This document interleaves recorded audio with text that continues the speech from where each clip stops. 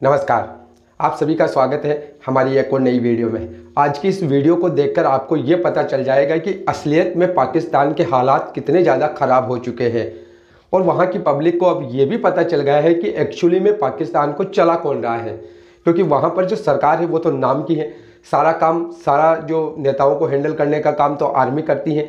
तो पब्लिक खुद ये कहने को मजबूर हो गई है कि आप इन हुक्मरानों को हटाओ और खुद शासन करो, यानी कि टेक ओवर करो। लेकिन जनता को सहूलियत दो, यानी कि महँगाई से निजात दिलाओ। तो पहले हम ये वीडियो देखेंगे। वीडियो के बाद बात करेंगे इस वीडियो को लेकर। ओरिजिनल वीडियो का लिंक डिस्क्रिप्शन में मिल जाएगा तो चेकआउट ज़रूर करें। साथ में हमारे चैनल को सब्सक्राइब करके बेल आइकन को ऑल पर ज़रूर दबाना। तो चलिए वीडियो शुरू करते हैं। केसी है जिसका ग्रेड एक प्रोफेसर से कम है। ठीक है ना?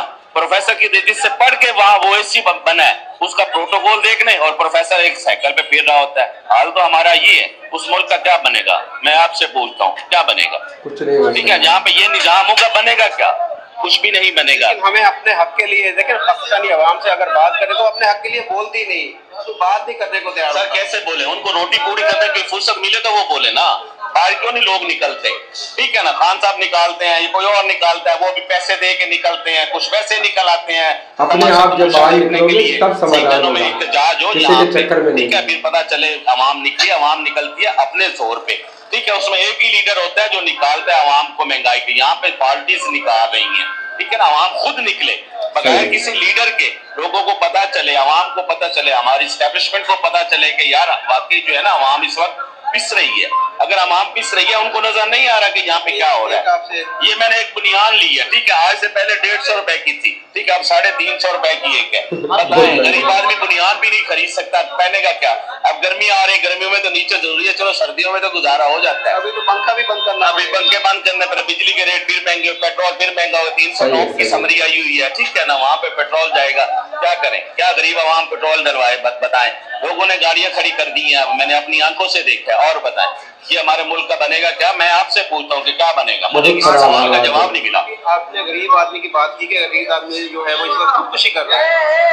आटा जो है एक सौ साठ रुपए किलो हो गया जब इंडिया की हम बात करें हमारा हमसाया मुल्क है वहाँ पर बीस पच्चीस रुपए किलो सर मैंने पिछले दिनों एक बंदे से बात कर रहा था वो कहता था हम तो दो टके के भी नहीं रहे। ठीक है ना? मुझे उस वक्त बात की समझ नहीं आई। मैंने फिर थोड़ा सा उस पर ना एक्सप्लेन किया कि आपका मतलब क्या है। कहता बांग्लादेश बाद में हुआ जैसे आपको पता है कैसे हुआ बांग्लादेश ठीक है ना? तो वहाँ का टका हमारी करेंसी से ज़्यादा हो गया। तो हम दो टके की नहीं रहे इंडिया पाकिस्तान एक एक दिन ही बना था। तीन रुपए पाकिस्तान के और एक रुपए इंडिया का है। रेट तो वैल्यू ये है। डॉलर कहाँ से कहाँ पे चला गया है? अब बताएँ मुझे। डॉलर का नीचे लाने के लिए अब मैंने तो नहीं लाना आपने तो नहीं लाना हुकूमत नहीं लाना हमारे वज़ीर खजाना इसहाक डार साहब जो बढ़ के मारते थे कि मैं ऐसे ले आऊँगा मैं जहाज़ में बैठ गया हूँ तो सौ पे डॉलर आ जाएगा। तो उन्होंने ही आगे क्या कर लिया? अब जो तेरह जमातें मिलके एक स्ट्रॉन्ग जमातें एक एक्सपीरियंस याफ्ता जमातें अब चलो खान साहब को लगा लेंगे। चार साल जी खान साहब ने मुल्क का बेड़ा कर कर दिया। बाकी इकहत्तर साल कहाँ पे गए? उसमें किसी ने बेड़ा गर्क नहीं किया। चलो जी, वो चार साल में आकर, चलो वो उन्होंने घर कर लिया घर कर हो गया। अब उसको तो हम। ठीक करना है ना। तो ठीक करने के लिए सारे एक्सपीरियंस याफ्ता लोग इकट्ठे हो गए हैं। अब उसको ठीक तो करें ना। अब 10-12 महीने हो गए कुछ आपको महसूस हुआ?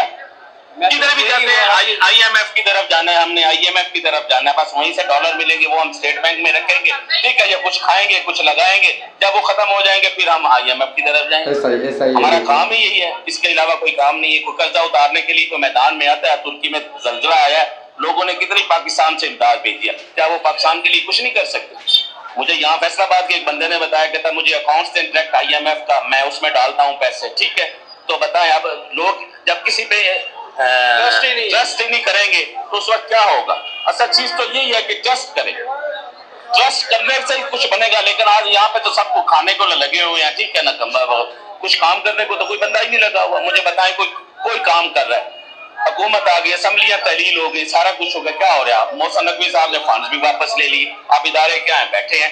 मुफ़्त की तनख्वाहें ले रहे हैं जो कह रहे तनख्वाहें देने के लिए पैसे नहीं है। तो पैसे नहीं है भाई प्रोजेक्ट जो थे मोहसन नकवी साहब को क्या चाहिए था कि वो प्रोजेक्ट वापस ले? वो तो परवेज इलाही साहब ने दिए हुए थे उनको तो मुकम्मल करना चाहिए था वो तो आम की भलाई के लिए था। सवाल तो ये जो भी आता है वो पुराने प्रोजेक्ट को क्लोज करके नई जो है निगरान हुकूमत का काम ही नहीं है। कि किसी की काम हो जो काम हो रहा है बल्कि उस काम की निगरानी करके उसको अच्छे तरीके से और करे। गुजारिश में ये गलती है ये खामी है हम इसको पूरा करें। मकसद तो है आवाम का भला कोई भी नहीं चाहता कि आवाम का भला हो। असल बात ये है। ठीक है ना? अगर हमारे लोग हुक्मरान या हमारी स्टेब्लिशमेंट ये चाहती है कि आवाम का भला हो तो फिर आज हमारे मुल्क का ये हाल होता है, है? मैं तो कहता हूँ स्टैब्लिशमेंट संभाल ले सो जब सब कुछ वो कर रही है तो संभाल ले। खुल के सामने खुल के संभाल ले। ये आगे साहब का बड़ा अच्छा दौर गुजरा जवाहर साहब का बड़ा अच्छा दौर गुजरा। ठीक है ना लोग लोग कहते हैं आर्मी कि के बारे मुशर्रफ में- साहब के दौर में कारोबार बहुत अच्छा रहा। ठीक है ना तो ऐसा ही कोई ऐसा हुक्मरान आ जाए चलो वो संभाल ले। ये सियासतदानों से जो जान छूट जाए ये जो बदतमीजी वाली सियासत हो गई है गाली गलोच वाली सियासत हो गई है अल्जामात वाली सियासत हो गई चलो कुछ दिन तो जान छूटेगी ना। कुछ दिन तो वो चलो स्टैब्लिशमेंट यहाँ पे हुक्मरानी करेगी कुछ ना कुछ आएगी। ये सारे सिलसिले हैं ये जब तक नहीं रुकेंगे अब इलेक्शन होने हैं नब्बे दिन के अंदर होने हैं ये तो फिर ड्रामा लगा हुआ है पहले हैं। जा रहे हैं नहीं जा रहे हैं कौन आ रहा है? हमारे मुल्क में तो ये हाल है लोगों को तो मुल्क में चीफ ऑफ़ आर्मी स्टाफ का पता ही नहीं होता कि उसका नाम क्या है। सही है आप मुझे चाइना का चीफ ऑफ़ आर्मी स्टाफ का नाम बता दें इंडिया का नाम बता दें किसी का नाम बता दें मुझे ठीक है? कोई नहीं। किसी को दिलचस्पी नहीं है। जमहूरियत है तो फिर जमहूरियत है। वहाँ पे स्टैब्लिशमेंट का काम है उन लोगों का काम है सिर्फ़ वहाँ पे अपने बॉर्डर्स पे जाके पाकिस्तान की हिफाजत करना। एक नंबर है। सेवेंटी फाइव परसेंट पाकिस्तान से वो ले जाते हैं। ठीक है ट्वेंटी फाइव परसेंट बचता है। ट्वेंटी परसेंट हमारे सियासतदान ले जाते हैं। पाँच परसेंट बाकी बचता है तो वो हमारी आवाम पे लगता है क्या लगता है वो आपको भी पता है ये सारी दुनिया को पता तो दोस्तों आई होप कि आपको ये वीडियो ज़रूर पसंद आई होगी। थोड़ी इस वीडियो को लेकर अगर हम बात करें ना तो जैसा कि हमने इस वीडियो के अंदर देखा है दो बातें। एक तो हमने जिस शख्स को देखा है, उसने महँगाई को लेकर यहाँ पर बात की है। और उसका कहना यह है कि पाकिस्तान के जो हालात हैं ना, वो अब बहुत ज़्यादा ख़राब हो चुके हैं। महँगाई इतनी ज़्यादा हो चुकी है कि पेट्रोल जो है, तीन सौ रुपये जा रहा है। जो खाने पीने की चीज़ें जो आज से एक दो साल पहले सौ रुपये में मिलती थी, आज वो तीन सौ से चार सौ रुपये में मिल रही हैं। इसके अलावा एक और बात इस आदमी ने यहाँ पर वीडियो के एंड में बोली है, और वो वो बिल्कुल सच्ची बात बोली है, उसने आर्मी को लेकर बोली है। पाकिस्तान में इस्टेब्लिशमेंट कहते हैं आर्मी को कि वही असली पावर में है। उसने शहबाज शरीफ, जो सरकार में है, प्रधानमंत्री है वहाँ के, उनको तो वैसे ही आगे कर रखा है। पीछे से सारा काम तो आर्मी देख रही है।